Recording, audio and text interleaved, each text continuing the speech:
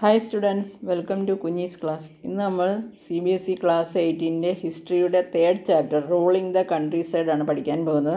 പാഠത്തിലേക്ക് പോകുന്നതിന് മുമ്പായിട്ട് നമ്മുടെ ചാനൽ ഇതുവരെ സബ്സ്ക്രൈബ് ചെയ്യാത്തവർ സബ്സ്ക്രൈബ് ചെയ്യണം. പറഞ്ഞില്ലെങ്കിലും നിങ്ങളെല്ലാവരും സബ്സ്ക്രൈബ് ചെയ്യുമെന്ന് എനിക്കറിയാം. എങ്കിലും ഓർമ്മിപ്പിക്കുകയാണ്. ഓക്കെ അതുപോലെ തന്നെ നമ്മുടെ വീഡിയോ ഇഷ്ടപ്പെട്ടാൽ ലൈക്ക് ചെയ്യുക.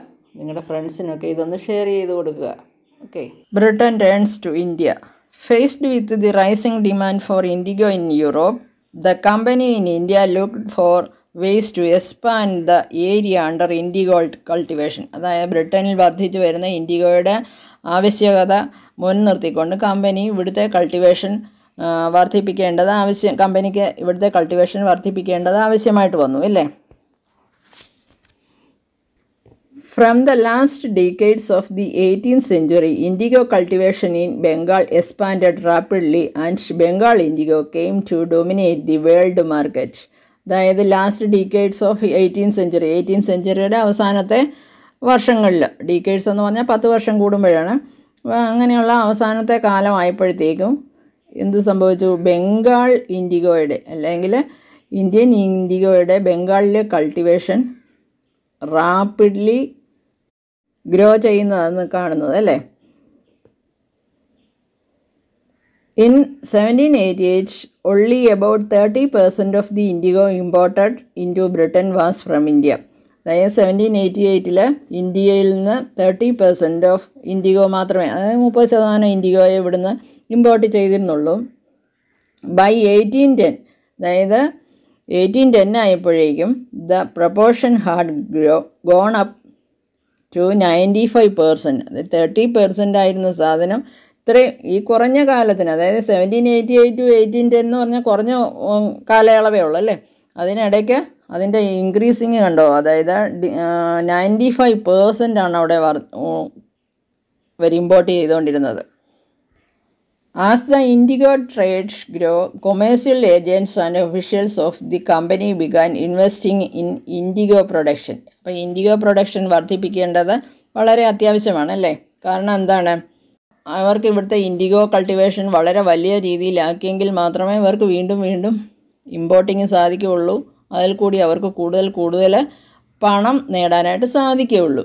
Over the years many company officials left their jobs to look after their indigo business ഇപ്പോൾ ഇൻഡിഗോയിൽ നിന്ന് വല്ല ആദായം ഉണ്ടോ എന്ന് നോക്കണം. കാരണം അവരുടെ കമ്പനി ഒഫീഷ്യൽസ് അവരുടെ ജോലി കളഞ്ഞിട്ട് ജോലി ഒഴിവാക്കിയിട്ട് അവർ ഇൻഡിഗോയുടെ ബിസിനസ്സിലേക്ക് മാറി. അപ്പോൾ അതിൽ നിന്നുള്ള ആദായം അത്ര ഹ്യൂജ് എമൗണ്ട് ആയിരുന്നു. അതുകൊണ്ടാണ് അവർ അതിലേക്ക് മാറിയല്ലേ ഉണ്ടായിരുന്ന ജോലി കളഞ്ഞിട്ട് അവർ ഇൻഡിഗോയുടെ ബിസിനസ്സിലേക്ക് മാറുക എന്ന് പറഞ്ഞാൽ അതിൽ അതിൽ നിന്നുണ്ടാകുന്ന ആദായം അല്ലെങ്കിൽ വരുമാനം വളരെ വലുതായിരുന്നു. അല്ലേ? Attracted by the prospect of high profits numerous Scotsmen and Englishmen came to India and became planters അങ്ങനെ ഇതിന്റെ ഈ ഹൈ പ്രോഫിറ്റ് കൊണ്ട് അതായത് ഇന്ത്യൻ ഇൻഡിഗോയുടെ ഹൈ പ്രോഫിറ്റും ഉണ്ട് സ്പോർട്സ്മാനും അതുപോലെ ഇംഗ്ലീഷ് മേനുമൊക്കെ ഇന്ത്യയിലേക്ക് വന്നിട്ട് അവരെന്തായി മാറി? പ്ലാന്റേഴ്സായിട്ട് മാറി. അതായത് ഈ ഇൻഡിഗോയുടെ വലിയൊരു പ്ലാന്റേഴ്സായിട്ട് മാറുകയാണ് ചെയ്യുന്നത്. അതായത് പ്ലാന്റേഴ്സ് എന്ന് പറഞ്ഞാൽ എന്താണ്? തോട്ട ഉടമസ്ഥർ അല്ലേ? ഈ പ്ലാന്റ് ഇൻഡിഗോ തോട്ടത്തിന്റെ ഉടമസ്ഥരായിട്ട് മാറുകയാണ് ചെയ്തത്. Those who had no money to produce indigo could get loans from the company indigo produce ചെയ്യാൻ അല്ലെങ്കിൽ കൾട്ടിവേറ്റ് ചെയ്യാനൊന്നും നിവൃത്തിയില്ലാത്തവർക്ക് ഈ കമ്പനി എന്ത് ചെയ്യുന്നു? പണം കൊടുക്കുന്നു ലോൺ കൊടുക്കുന്നു. From the company and the banks that were coming up at that time how was indigo cultivated there were two main systems of indigo cultivation nij and ryoti അതായത് indigo കൾട്ടിവേഷന് രണ്ട് സിസ്റ്റമായിരുന്നു ഉണ്ടായിരുന്നത്. Nij and ryoti nij cultivation and ryoti cultivation within the system of nij cultivation the planter produced indigo in lands that he directly controlled പ്ലാന്ററിന്റെ direct മേൽനോട്ടത്തിലായിരുന്നു അവിടെ indigo produce ചെയ്തിരുന്നത്. അതായത് നിജ് cultivation അങ്ങനെയായിരുന്നു. അതായത് പ്ലാന്റർ എന്ന് പറഞ്ഞാൽ ആരാണ്? ഒരു തോട്ടം ഉടമസ്ഥൻ അല്ലേ? അതായത് ഒരു ഏരിയയിലെ മുഴുവൻ തോട്ടത്തിന്റെ ഉടമസ്ഥനായിരിക്കും ഒരു പ്ലാന്റർ എന്ന് പറയുന്നത്. He either bought the land or rented it from other Samindas and produced indigo by directly employing hired laborers. അതായത് ഈ പ്ലാന്റർ ഒന്നുകിലേക്ക് സ്വന്തമായിട്ട് ഭൂമി ഉള്ളവനായിരിക്കും ലാൻഡ് ഉള്ളവനായിരിക്കും. അതല്ല എങ്കിൽ അയാൾ മറ്റുള്ളവരിൽ നിന്ന് ലാൻഡ് ലീസിനെടുത്തിട്ട് പാട്ടത്തിനെടുത്തിട്ട് അങ്ങനെ കൃഷി ചെയ്യുന്നതായിരിക്കും. എങ്ങനെയായാലും പ്ലാന്റർ എന്ന് പറഞ്ഞാൽ കുറച്ച് ഏറിയയിൽ കൃഷി ചെയ്യുന്നയാളാണ്. അതിന്റെ ഉടമസ്ഥനാണ്. അപ്പോൾ അയാൾ ലേബേഴ്സിനെ കൊണ്ട് അതായത് പണിക്കാരെ കൊണ്ട് കൃഷി ചെയ്യിക്കുകയാണ് ചെയ്യുന്നത്. The problem with nij cultivation nij കൾട്ടിവേഷനും പ്രശ്നങ്ങളുണ്ടായിരുന്നു. The planters found it difficult to expand the area under nij cultivation അതായത് ഏരിയ വർദ്ധിപ്പിക്കാതെ. ഈ നിജ് കൾട്ടിവേഷന് വേണ്ടിയിട്ട് പ്ലാന്റർ എന്ന് പറഞ്ഞാൽ കുറേ ഏരിയയിൽ കൾട്ടിവേറ്റ് ചെയ്യുന്ന ആളാണല്ലോ. അപ്പോൾ അതിന് വേണ്ടിയിട്ട് ഈ കൾട്ടിവേഷന് വേണ്ടിയിട്ട് ഏരിയ വർദ്ധിപ്പിക്കുക എന്നുള്ള വലിയൊരു പ്രോബ്ലം ആയിരുന്നു. Indigo could be cultivated only on fertile lands അതിന്റെ ഒരു പ്രധാന പ്രശ്നം ഫെർട്ടൈൽ ലാൻഡ്സിൽ ഇത് നല്ല ഫലഭൂയിഷ്ടമായ മണ്ണിൽ മാത്രമേ ഇത് ഉണ്ടാവുകയുള്ളൂ. And these were already densely populated അത് അങ്ങനെയുള്ള പ്രദേശങ്ങളൊക്കെ ഡെൻസ്ലി പോപ്പുലേറ്റഡ് ആയിട്ടുള്ള പ്രദേശങ്ങളായിരുന്നു.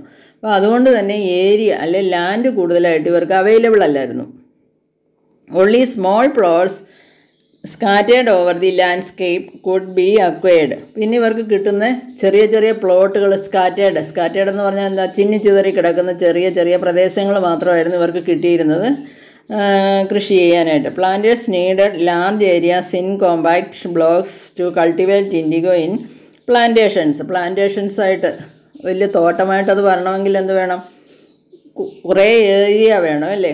അത് അവർക്ക് അവൈലബിൾ അല്ലായിരുന്നു. അതൊരു പ്രശ്നമായിരുന്നു. Where could they get such land from അവർക്ക് എവിടെ നിന്നാണ് ഇങ്ങനെയുള്ള ലാൻഡ് കിട്ടുന്നത്? അതായത് ഒരു ഏരിയ മുഴുവൻ അവരുടെ കയ്യിൽ കിട്ടുന്നത് എവിടെ നിന്നായിരിക്കും? They attend to lease in the land around the indigo factory and evict the peasants from the area അപ്പോൾ ഈ ഇൻഡിഗോ ഫാക്ടറിയുടെ ചുറ്റുമുള്ള പ്രദേശങ്ങൾ ഇവരെന്ത് ചെയ്യും? ലീസിനെടുക്കും അല്ലേ? ലീസിനെടുത്തിട്ട് അവരവിടെ ഇൻഡിഗോ കൾട്ടിവേറ്റ് ചെയ്യി ചെയ്യിച്ചു. അപ്പോൾ ഒരു പ്രശ്നം വന്ന എന്താണ്? എവിക് ദ പെസ പെസൻസ് ഫ്രം ദി ഏരിയ. പെസൻസിനെ അവിടെ നിന്ന് തുടച്ച് നീക്കേണ്ടതായിട്ട് വന്നു. അതായത് കാലാകാലങ്ങളായിട്ട് കൃഷി ചെയ്തു വന്നിരുന്ന പെസൻസിനെ. അവരുടേതായ കൃഷികൾ എന്തൊക്കെയാണോ അത് ചെയ്തിരുന്നു ചെയ്തു വന്നിരുന്ന പെസൻസിനെ അവിടുന്ന് തുടച്ച് നീക്കേണ്ടതായിട്ട് വന്നു. അല്ലെങ്കിൽ ഒഴിവാക്ക ഒഴിവാക്കി ഒഴിവാക്കേണ്ടതായിട്ട് വന്നു അല്ലേ? But this always led to conflicts and tension ഇത് പലപ്പോഴും വലിയ പ്രശ്നങ്ങളിലേക്കൊക്കെ വലിയ കലാപങ്ങളിലേക്കൊക്കെ വഴിതിരിച്ചു വിട്ടു. കാരണം എന്താണ്? കാലാകാലങ്ങളെ ജനറേഷൻസായിട്ട് താമസിച്ച് കൃഷി ചെയ്തു വരുന്നവരെ അവിടെ നിന്ന് ഒഴിപ്പിക്കുക എന്ന് പറയുമ്പോൾ അത് വലിയ പ്രശ്നമാകുമല്ലോ അങ്ങനെ ഈ പ്ലാന്റേഴ്സ് പ്ലാന്റേഴ്സിന് ഒരുപാട് പ്രശ്നങ്ങൾ അഭിമുഖീകരിക്കേണ്ടതായിട്ട് വന്നു. Nor was easy to labour easy to mobilise a land plantation required a vast number of lands. To operate and labour was needed precisely at a time when persons were usually busy in their rice cultivation മറ്റൊരു പ്രശ്നമായിരുന്നു അതായത് ഈ നിജ് കൾട്ടിവേഷന്റെ സമയത്ത് തന്നെയായിരുന്നു ഇവരുടെ rice cultivation പെസൻസ് ആ സമയത്ത് അതിലായിരിക്കും അല്ലേ? കാരണം അവരുടെ റൈസ് കൾട്ടിവേഷനുമായി ബന്ധപ്പെട്ട് അവർ ആ മേഖലയിലായിരിക്കും. അപ്പോൾ അതുവഴി ഇവർക്ക് കൃഷിക്കാരെ കിട്ടാൻ അല്ലെങ്കിൽ ലേബേഴ്സിനെ കിട്ടാനായിട്ടും പ്രയാസം നേരിട്ടു. Nij cultivation on a large scale also required many ploughs and bullocks അതുപോലെ തന്നെ നെജ് കൾട്ടിവേഷനും അതായത് വലിയ വാസ്റ്റായിട്ടാണ് ഇവർ ഇത് നടത്തുന്നത്. അല്ലെങ്കിൽ വലിയ ഏറിയയിലാണ് നടത്തുന്നത്. അപ്പോൾ അവർക്ക് പ്ലബ്സും ബുള്ളോക്സും ഒക്കെ ധാരാളം അവൈലബിൾ ആകണം അല്ലേ? എങ്കിൽ മാത്രമേ ഇത് ഈ നിലമൊക്കെ ഉഴുതു മറിച്ചിട്ട് അവിടെ ഈ എന്താ ഇൻഡിഗോ ഇടുവാനായിട്ട് സാധിക്കുകയുള്ളൂ അല്ലേ? അപ്പം അതിന് വേണ്ടിയിട്ട് അവർക്ക് പ്ലവ്സും ബുള്ളോക്സും ഒക്കെ ധാരാളം വേണ്ടി വന്നു. One bigha of indigo cultivation required two ploughs. ഒരു ബിഹ ഇൻഡിഗോ കൾട്ടിവേഷൻ നടത്തണമെങ്കിൽ രണ്ട് പ്ലഫെങ്കിലും ആവശ്യമായിട്ട് വന്നു. അതായത് ബിഹ എന്ന് പറഞ്ഞാൽ a unit of measurement of land. ലാൻഡിന്റെ ഒരു മെഷർമെന്റിനെയാണ് ബിഹ എന്ന് പറയുന്നത്. പണ്ട് കാലങ്ങളിൽ അതായത് ബ്രിട്ടീഷുകാർ വരുന്നതിന് മുമ്പ് തന്നെ അല്ലെങ്കിൽ അവരുടെ റോൾ വരുന്നതിന് മുമ്പ് തന്നെ ഇവിടെ നിലനിന്നിരുന്ന ഒരു ലാൻഡിന്റെ മെഷർമെന്റാണ് ബിഹ എന്ന് പറയുന്നത്. The size of this area varied ആ, പല പ്രദേശങ്ങളിൽ ഈ ബിഹായുടെ അളവെന്ന് പറയുന്ന പല രീതിയിലായിരിക്കും. In Bengal the British standardised it to about one third of an acre. ഒരു ഏക്കറിന്റെ മൂന്നിലൊന്നായിട്ട് ബ്രിട്ടീഷുകാർ ബംഗാളിൽ ഇതിനെ സ്ഥിരപ്പെടുത്തിയായിരുന്നു. അതായത് ഒരു ഏക്കർ എന്ന് പറഞ്ഞാൽ എത്രയാണ്? നൂറ് സെന്റ് അല്ലേ? ആ നൂറ് സെന്റിന്റെ വൺ തേർഡാണ് ഒരു ബിഹ എന്ന് പറയുന്നത്. That means thirty three point something cent വരും. മനസ്സിലായല്ലോ? അതായത് തേർട്ടി ത്രീ പിന്നെയും കുറച്ചും കൂടി വരും. അപ്പോൾ തേർട്ടി ത്രീ തന്നെ നമുക്കങ്ങ് കൺസിഡർ ചെയ്യാം. അങ്ങനെയാണെങ്കിൽ തന്നെ ഒരു ബിഹ എന്ന് പറയുന്നത് തേർട്ടി ത്രീ സെന്റ് ഓക്കെ അങ്ങനെ അങ്ങ് നോക്കാം. അപ്പോൾ ഈ തേർട്ടി ത്രീ സെന്റിലേക്ക് വേണ്ടിയത് രണ്ട് പ്ലഫായിരുന്നു വേണ്ടിയത് അല്ലേ? This mean that a planter with thousand bighas would need two thousand ploughs അതായത് ഇപ്പം തൗസൻഡ് ബിഹാസ് ഉള്ള ഒരു പ്ലാന്റർ ആണെങ്കിൽ അതിക്ക് ടു തൗസൻഡ് പ്ലസ് ആവശ്യമായിട്ട് വന്നു. തൗസൻഡ് ബിഹാസ് എന്ന് പറയുമ്പം thirty three into thousand that means thirty three thousand അതായത് ഏകദേശം three hundred and thirty acre അല്ലെ? അതിന് എബോവ് കുറച്ചും കൂടി വരും. Three three hundred and thirty ഏക്കറാണ് ഒരു തൗസൻഡ് ബിഹാസ് എന്ന് പറയുന്നത്. ഓക്കെ അപ്പോൾ അതിനാവശ്യമായിട്ട് വന്നത് ടു തൗസൻഡ് പ്ലസ് ആയിരുന്നു. Investing on purchase and maintenance of ploughs was a big problem അതുപോലെ തന്നെ ഇതിന് വേണ്ടിയിട്ട് കാശ് മുടക്കുക ഈ പ്ലഫ്സിന് വേണ്ടിയിട്ട് കാശ് പ്ലഫിന് വേണ്ടിയിട്ട് കാശ് മുടക്കുക. അതുപോലെ തന്നെ അതിനെ മെയിന്റെയിൻ ചെയ്യുക. ഇതിന് നല്ല ഇൻവെസ്റ്റ് ചെയ്യണം. അതിനെ വീണ്ടും കാരണം ടു തൗസൻഡ് വേണമല്ലോ. അതിനെ പിന്നെ മെയിന്റെയിൻ ചെയ്യണം അല്ലേ? യാതൊരു കേടും വരാതെ അല്ലെങ്കിൽ കേടൊക്കെ വന്നാൽ അതിനെ റിപ്പയർ ചെയ്തെടുത്ത് അത് മെയിന്റെയിൻ ചെയ്യണം. അതൊക്കെ വലിയൊരു പ്രോബ്ലമായിരുന്നു nor could supplies be easily got from the peasant since their ploughs are and bullocks were busy on their rice fields അതുപോലെ തന്നെ ഇത് കിട്ടാൻ അവൈലബിൾ ആകുന്നതും വലിയ പ്രശ്നമായിരുന്നു. കാരണം എന്താണ്? ആ സമയത്തായിരുന്നു ഈ പെസൻസിന് അവരുടെ റൈസ് ഫീൽഡിലുള്ള കൾട്ടിവേഷൻ നമ്മൾ നേരത്തെ കണ്ടു അല്ലേ? അപ്പോൾ അവർക്ക് അത് അവിടെ ആവശ്യമാണ്. ഈ പ്ലവ്സും അതുപോലെ ബുള്ളോക്കും ഒക്കെ അവർക്ക് അവിടെ ആവശ്യമാണ്. റൈസ് ഫീൽഡിൽ ആവശ്യമാണ്. സോ അതുകൊണ്ട് ഇവർക്കിത് കിട്ടാനും വലിയ പ്രയാസമായിരുന്നു. Again exactly at the time that the indigo planters needed them indigo പ്ലാന്റേഴ്സിനും ആ സമയത്ത് തന്നെയായിരുന്നു വേണ്ടിയത്. ഈ റൈസ് കൾ ഫീൽഡിൽ വേണ്ടി അതേ സമയത്ത് സമയം തന്നെയാണ് ഈ നിജ് കൾട്ടിവേഷന് വേണ്ടിയിട്ടും പ്ലഫും ബുള്ളോക്കും ഒക്കെ വേണ്ടിയത്. സോ അതും ഒരു വലിയ പ്രശ്നമായിരുന്നു. Till the late nineteen century planters were therefore reluctant to expand the area under nij under niche cultivation. Less than 25% of the land producing indigo was under this system.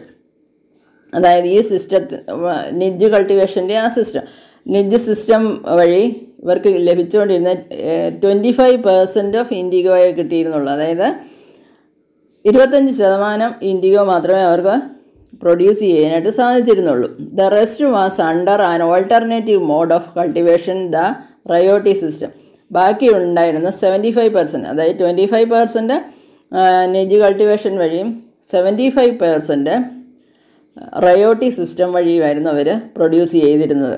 അപ്പോൾ ഇന്നത്തെ ക്ലാസ് വൈൻഡപ്പ് ചെയ്യുകയാണ്.